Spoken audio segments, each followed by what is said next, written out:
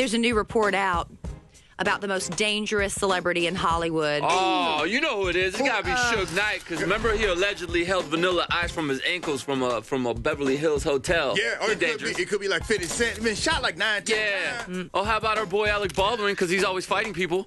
Yeah, I can see that. Yeah, right. Yeah. T.I. Lil, no, it's a Lil. Actually, Jenna Lil- is on the right track. Yes. Oh, Lil, Lil Oh, something? Lil Lil Lil Wayne, Lil, No. Lil Twit, Lil Zah? No. Lil Romeo? Lil No. Justin Bieber. No, this would be Lily. Huh?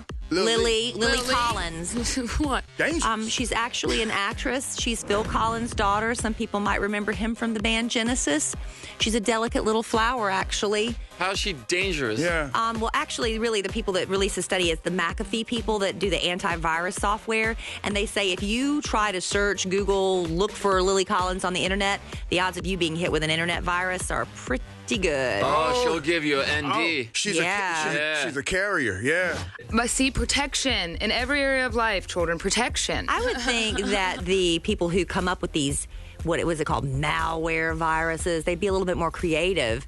But no, it's randoms, complete randoms like Avril Lavigne, mm. Sandra Bullock, Kathy Griffin, Zoe Saldana, Wait, wait, wait, wait. Who's who's searching for Kathy Griffin? Kathy Griffin.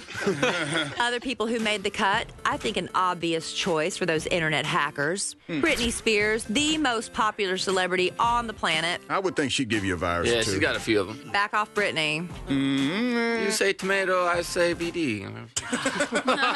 JC, seriously. Allegedly.